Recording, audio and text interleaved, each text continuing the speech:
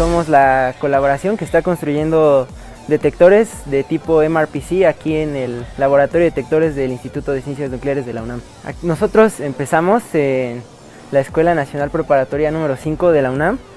Estuvimos nosotros seis y luego se adjuntaron nuestros compañeros Vladimir y, Roberto.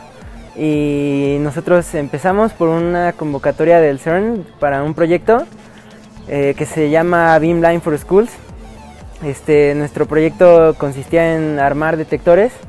Después del proyecto el doctor nos invitó a seguir trabajando y actualmente lo que estamos haciendo es construir y pues, eh, hacer la puesta experimental de, estos detectores eh, multigap resistive plate chamber. Cabe destacar que son eh, de los primeros que se están haciendo aquí en México, somos el primer grupo que los está elaborando.